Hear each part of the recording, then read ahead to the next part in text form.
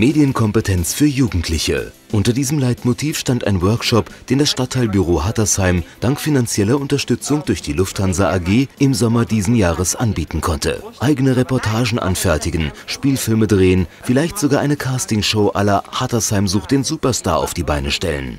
Den fünf Teilnehmern des Workshops mangelte es nicht an kreativen Ideen. Bei der Umsetzung, insbesondere im technischen Bereich, erhielten die angehenden Programm- und Filmemacher professionelle Unterstützung durch erfahrene Medienpädagogen. Filmen ist eine Kunst, die Nachbearbeitung, der Schnitt eine Wissenschaft. Wir unterhielten uns mit dem Nachwuchsfilmer und Medienpädagoge Bernhard Kaiser vom Frankfurter Gallus-Zentrum über die Arbeit im Workshop, der selbstverständlich einen regelmäßigen Sendeplatz im Stadtteilfernsehen K4 erhalten wird. Also heute mal was ganz anderes, K4 Filme über Filme. Wir sind hier im Hattersheim im Stadtteilbüro und bei uns zu Gast sind heute die Teilnehmer des Video-Workshops, der dieses Jahr im Sommer lief. Es sind nicht alle da, aber es sind zumindest mal drei da, und zwar der Umut, der Kevin und der Dominik, ja, die vor, ja, ich glaube, es sind mittlerweile sechs, sieben Wochen sich zusammengefunden haben und Filme gedreht haben. Wie seid ihr denn dazu gekommen? Wo ist denn das Interesse? Also ich habe es ähm, ja. im Café, also im, in diesem Videotext oder so gesehen. Ja. Das heißt, und da lief es halt und äh, habe ich einfach angerufen und da wurde ich einfach zu diesem Treffen erstmal mhm. hergerufen. Ja. Gut, das ist mal das Interesse, dass es die Möglichkeit gibt und ihr habt ja aber mittlerweile auch schon einiges produziert. Ja, das heißt, ihr habt euch erstmal zusammengefunden unter Mitarbeit natürlich von einem Mädchenpädagogen. Es ist zwar heute nicht die Dame da, die das geleitet hat in den vier oder fünf Wochen, in denen der Kurs lief, sondern es ist da der Herr Bernhard Kaiser von, na, ich muss jetzt mal auf meinen Zettel gucken, vom Galles-Zentrum in Frankfurt, Mädchenpädagoge, der das Ganze also von der technischen Seite her begleitet. Ja, aber ganz wichtig war ja erst einmal, dass ihr persönlich Ideen entwickelt, ja, Filmbeiträge, was habt ihr denn da so gedreht? Ja. Wir haben auch Jugendliche dann später interviewt und haben halt gefragt, ähm, was sie an Hattersheim verändern würden und haben uns halt auch so Fragen aufgeschrieben und haben die dann halt immer gefragt, was sie in ihrer Freizeit machen. Und, äh also das Ganze lief erstmal so in Richtung von der Reportage ab. Ja. Das ist natürlich jetzt die eine Seite, das ist relativ einfach noch, sage ich mal. Man läuft rum und hält irgendwie ein Mikrofon unter die Nase, das ist noch relativ lässig. Aber dann gibt es natürlich hinterher noch einen riesen Schwanz von Arbeit und das bedeutet, man muss das Ganze ja erstmal da zusammenschneiden. Ja? Ja, also das dauert schon ziemlich lang. Man muss halt immer erst überspielen. Das dauert auch erstmal Ewigkeiten. Da gibt es meistens auch irgendwie so unter uns, reden wir dann, ja, wir es so, so machen oder so. Hm. Und ähm, ja, beim, äh, beim, Schneiden ist es schon schwieriger als beim äh, Drehen selber, weil wir uns auch irgendwie immer irgendwie überlegen, ja, nehmen wir das, nehmen wir das. Mhm. Und ja, es dauert, dauert, schon lange. Also wir saßen jetzt zwei Tage dran, um diesen, ähm, ja, was ist los in Hattersheim-Film zu schneiden. Und dieser Was ist los in Hattersheim-Film, den werden wir auch demnächst auf K4 dann sehen können. Ja. ja. das ist also auf jeden Fall eine Sache. Das soll also auch keine einmalige Geschichte bleiben, sondern da ist ja schon eine gewisse Kontinuität äh, geplant, je nachdem, wie ihr da Zeit habt, wie ihr euch da engagieren wollt. Und ich habe gehört, es, ihr wollt auch einen, äh, also jetzt nicht nur Reportage drehen, sondern da ist also auch ein Spielfilm regelrecht geplant. So ein kleiner, was habe ich, Krimi, so in der Richtung. Ja. Und Sie können das wahrscheinlich am, ich will nicht sagen am besten beurteilen, aber mit beurteilen, wie stellen Sie sich denn an? Gibt es hier die Themen, wie wird da mitgearbeitet? Naja, wir, wir wissen, dass Jugendliche nicht nur Fernsehen gucken können, ja. sondern auch Fernsehen machen können. Äh, wir sind hier auf äh, eine Gruppe gestoßen, die sehr motiviert ist, sehr fit ist und auch gute Ideen hat. Und ähm, das erste Projekt, was Sie angesprochen haben, war ein Pilotprojekt. Mhm. Äh, da wurde diese kurze Reportage, sieben Minuten, erstellt. In der Folge ist geplant, mit dieser Gruppe regelmäßig eine Sendung in K4 zu machen, ähm, die so eher in der Art von einer Magazinsendung mhm. wie Monitor ist. Äh, hat weniger für älteres Publikum, aber auch, aber hauptsächlich für Jugendliche. Ja. Hattersheim oder zumindest in dem Bereich des äh, Senders. Ja. Ihr wollt eigentlich weitermachen. Ja. Das heißt im Klartext, wann können wir denn, jetzt abgesehen von diesem Pilotprojekt, wann können wir denn mit eurem Film ungefähr rechnen? Da sind wir ja auch schon ganz gespannt drauf, weil wir machen es jetzt anderthalb Jahre, wir wollen natürlich auch mal sehen, was macht ihr da. Ja. Habt ihr da schon irgendwie eine zeitliche Vorgabe, wann das fertig sein kann? Also ich denke mal, dass es jetzt noch in diesem Monat wahrscheinlich fertig sein wird. Mhm. Und ähm, Ja, dann wird es auch gesendet.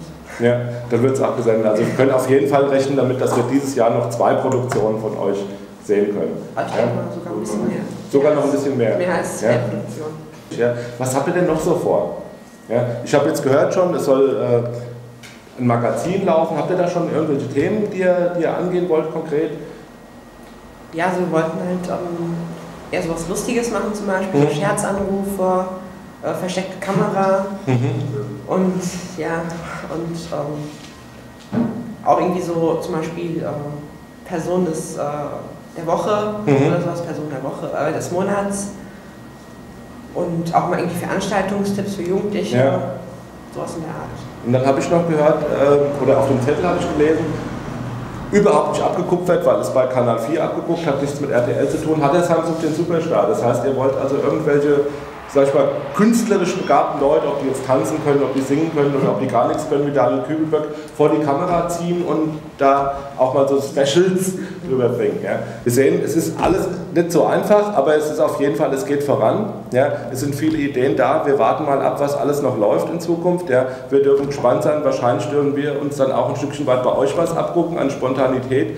Ihr könnt euch vielleicht was bei uns abgucken, dass man einfach drauf losbabbelt, wenn die Kamera läuft. Ja. Okay, das war's dann erstmal für heute. Achso, und dann ähm, würde ich vielleicht noch sagen, dass wir unter ähm, K4 superstar.web.de kann man uns E-Mails schreiben, um sich ähm, zu bewerben. Alle Leute, die irgendwo was drauf haben, sind gefordert. Die können das gerne zeigen, können das präsentieren und es geht über den, nicht über den Ether, aber es geht durchs Kabel. Stichwort Hattersheim sucht den Superstar. Wer sich beteiligen möchte oder Interesse hat, im Medienworkshop mitzuarbeiten, schickt einfach eine Postkarte an das Stadtteilbüro Hattersheim.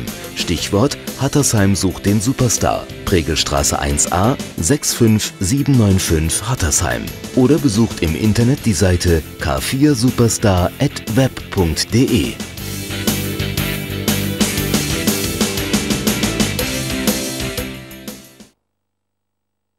Hi, hier ist Patrick vom Jugendvideoteam des K4 und wir stellen euch heute unseren ersten Beitrag vor.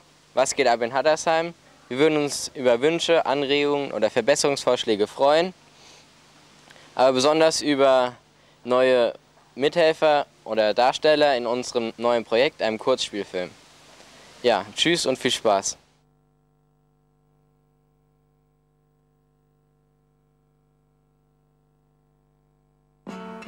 Yeah. You know what? I like the players.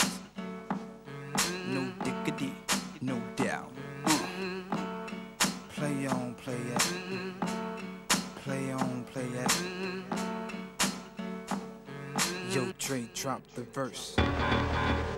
It's going down, fade to Black Street. The homies got at me, collab creations. Bump like agony, no doubt. I put it down, never slouch. As long as my credit can vouch, a dog couldn't catch me. Say out. Tell me who could stop with Dre making moves, attracting honeys like a magnet, giving them orgasms with my mellow accent. Still moving this flavor with the homies Black Street and Teddy, the original rough shaker. Wie gefällt dir Hattersheim? Ja, geht so. Zum Fahren gibt's was.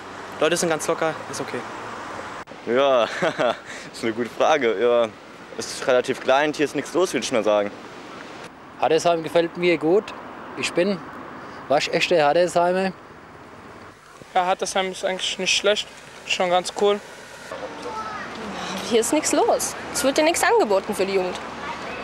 Ja, was machst du abends oder am Wochenende? Mit Freunden abhängen, auf eine Party gehen oder so. Ja, weggehen, saufen, trinken, spazieren gehen, tanzen. Ich tanze gerne. Ja, also im Sommer gehe ich ins Schwimmbad und sonst gammel ich hier irgendwo mit meinen Freunden rum. Schlafen. Naja, eher so Basketball spielen, Schwimmbad gehen und so. Fußball spielen. Ich kämpfe. Ja, ich springe halt hauptsächlich mit dem Fahrrad hier rum. So auf allem, auf was man halt so rumspringen kann.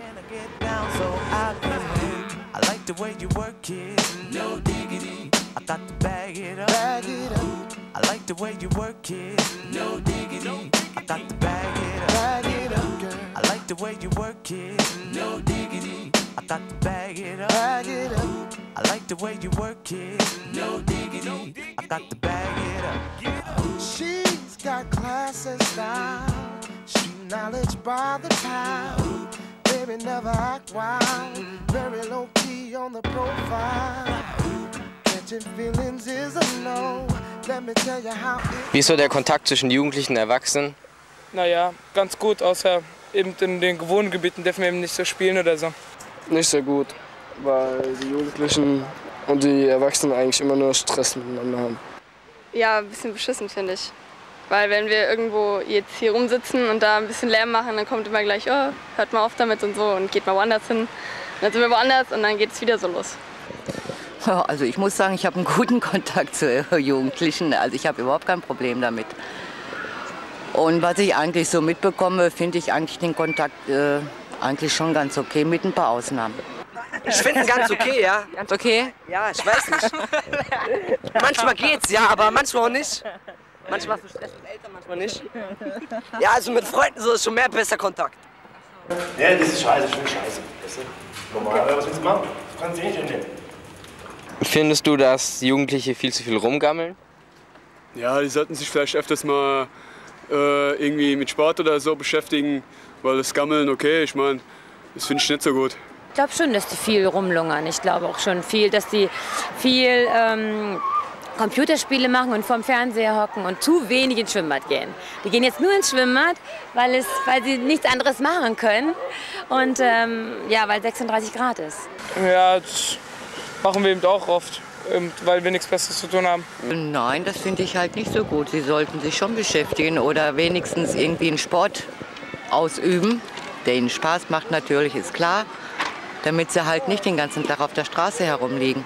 Also ich finde das nicht okay.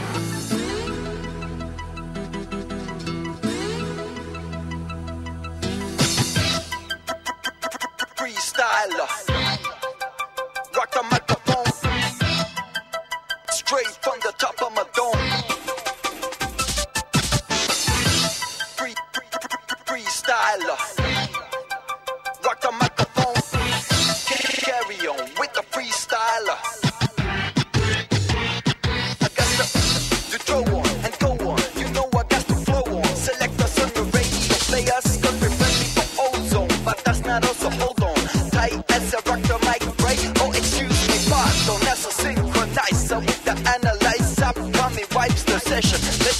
Less impression. You carry protection. Now with your heart go on. Like Celine Dion. Come a chameleon. Yeah, straight from the top of my dome. As a rock, rock, rock, rock, rock, rock, rock the microphone. Yeah, straight from the top of my dome. Was würdest du in Hattersheim ändern? Am Ende. Die Pipen in Hessendamm, da, äh, diese komische Ding da, die muss geändert werden. Wir wollen eine eigene Breakdance-Raum haben. Ja, ich würde noch mehr so Gelegenheiten machen für Ältere irgendwie, sich hier irgendwo zu treffen oder so. Nicht irgendwo sonst irgendwo auf der Straße rumgammeln, sondern irgendwie so ein Jugendtreff machen, weil der Jugendtreff, den finde ich irgendwie scheiße, der hier ist. Ja, vielleicht mal hier eine Disco hinbauen oder mal, was weiß ich, mehr Stadtfest oder so, wo mal was los ist für die Jugend. Mehr Freizeitangebote machen, also mehr, was man, wenn man nicht in einem Verein sein will, wenn man irgendwo anders was machen will. So. Also was ich mir wünsche, dass die Förderung für Randsportarten wie hier Fahrradtrail ähm, mehr gefördert wird. Ähm, in Form von einem Gelände oder einem kleinen Platz, wo wir unser eigenes Gelände aufbauen können. Das wäre schon cool.